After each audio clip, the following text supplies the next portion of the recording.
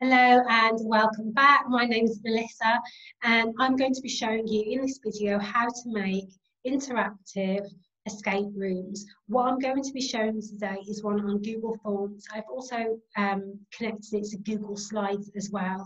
I'm going to break it down so that was part one of the video and part two. I'd just like to say thank you very much for those of you that have subscribed. So I'm just going to show you now what I've created. I'm going to put it into presentation mode. So this is how it would look to those that would be playing the game. So welcome to the Jumanji escape room. So I put that on. I'm going to play the slides right now for you. And then an image comes up. I've created it this way so it's more like a website. Here I've put some information there. So your mission is to reach Jaguar's Eye and save humanity from becoming extinct. You will come across a series of tasks inside the room and on Google Forms. You can ask your teacher, Miss Hamilton, for hints. What I wanted to do was I wanted to make it more interactive. So it looks like a website. I won't be talking about how to create questions to target your audience in this particular video. Otherwise, it's going to be too long. I'm going to do several parts. So here in what you can see is I've created a room and I'm going to show you how to create a similar room to what I've, I've done. I've got a clock up there and it's at 9 minutes 25 because I have been in the room for half an hour. I can show you how to link the clock, how to um, put all of these items in the room that I, I put in the room itself, how to create a Bitmoji like we have there. And here on the links, we've got links to various things and you can have hidden links. So it takes them through to different types of learning. So it's now time to learn about nouns. So I, I put that up there to make it more interactive so that immediately, um, I've been a bit lazy here by not starting it where the ads actually end. But here they can learn all about nouns and then they can actually go back to the room to continue their learning. So it's a bit like a, a sort of virtual classroom. Here, if we click through, says says here, click here to submit your answers. So what I've tried to do is I've tried to put in background, there's lots of different ways of doing this, by the way. I've tried to put in background learning so that it will help them when they enter the room. So it gives them some knowledge, therefore.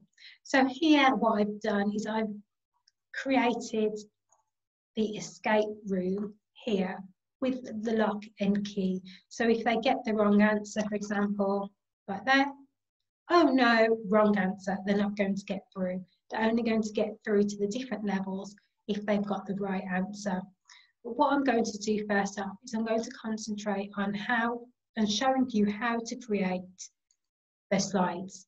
So you'll have a blank page like this. So this is done in Google uh, Forms. That's what I've created in Google Slides as well. So if you just go into Google Slides first up, and everything that you've seen is all connected in the back end to Google.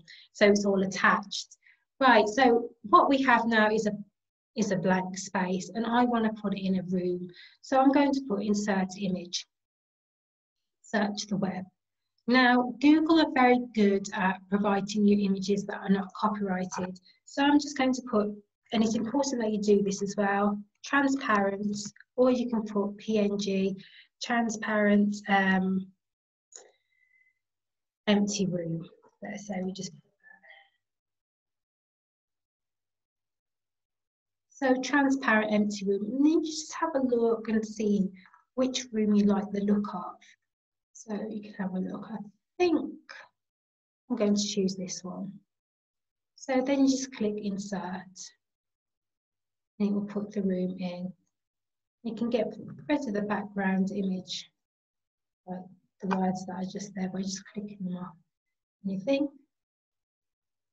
Stretch it like this so that it actually fills a space.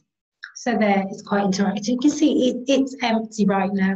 I'm going to put in some furniture. So I'm going to search for some furniture. furniture. So again, insert image, search on web. You can use other things as well, such as Canva. So I'm going to put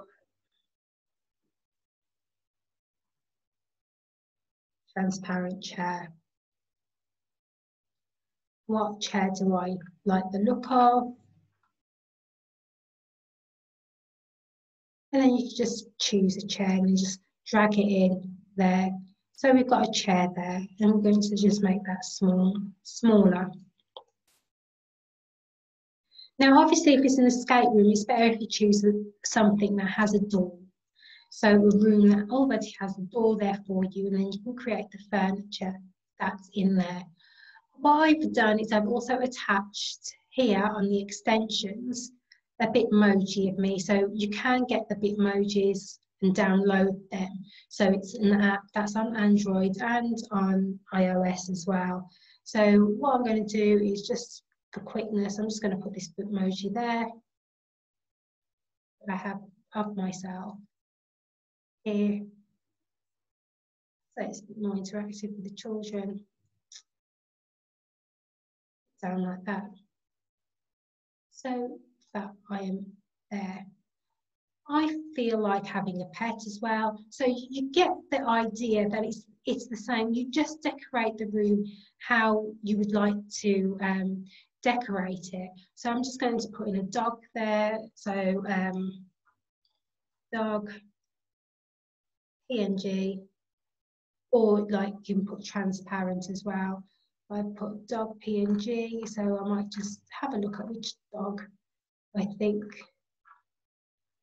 suit. And bear in mind, not all of the images, even though it will say, not all of them are transparent. So you have to really sort of check as you go along.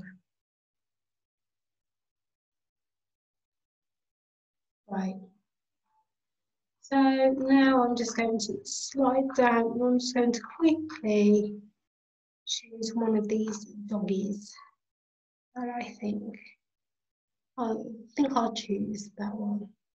Let's see if that one's actually yeah, see there on there it looks like it's got a white background, but actually it's a PNG one.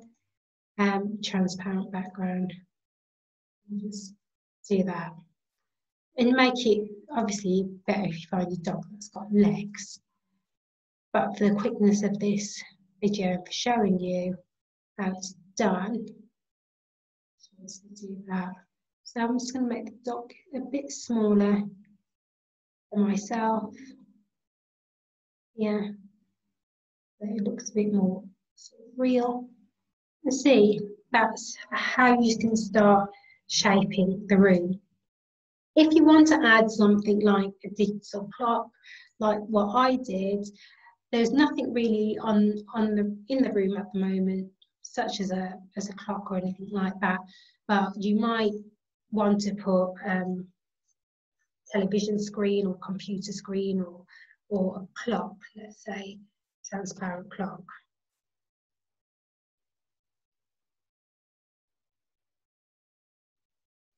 Right, so we've, we've got a clock that's just there. Might want to put a like oh well clock that's here.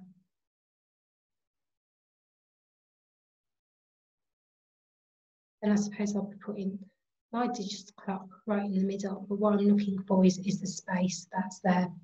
Now, at this point, insert video. So you're going to have a look on YouTube, and it says search or by URL or by Google Drive. So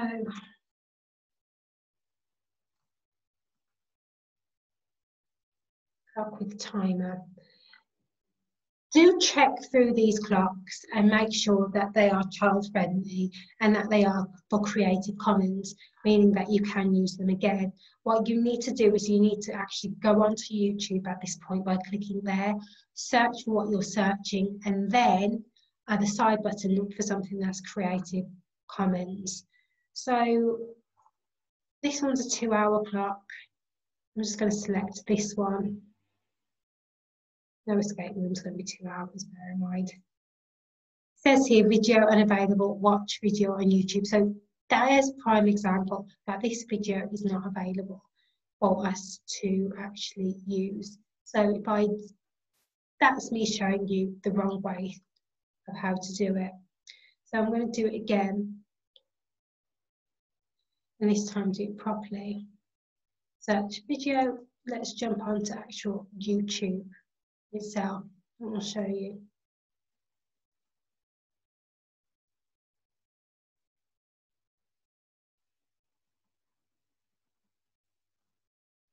digital clocks. Then you go to the filter there. Right here, you should see Creative Commons. See which one's Creative Commons. That's a ticking clock.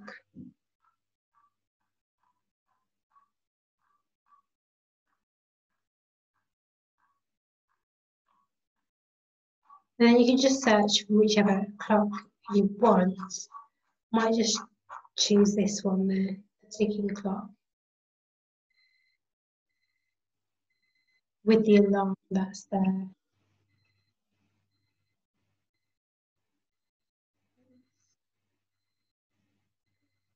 That, that was so funny. What's that sound? Oh, that's the escape room. Right. So we, we've chosen this one, go here, so that's from my original escape room that's gone down to zero, just there. So here, what I'm going to do is by URL, I've got the URL now. Go back to video, insert.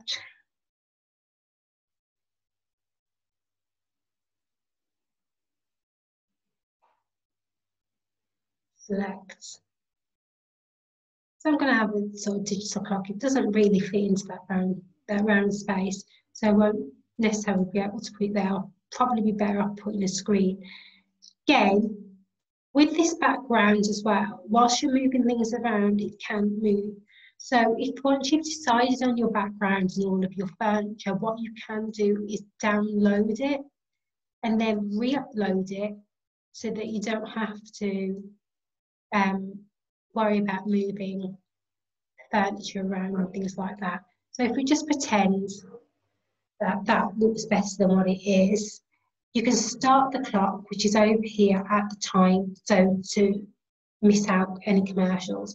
So say I want to start it at 0.200, so two minutes in, you've got the option of doing that. And then it can autoplay when presenting so that when it goes into present mode, when you go on here, pressing it into present mode, will automatically do that itself. As well, you can have hidden links in here or links that you want. I'll show you how to create a hidden link, for example. What you would do is you just create a text box for yourself which is like that.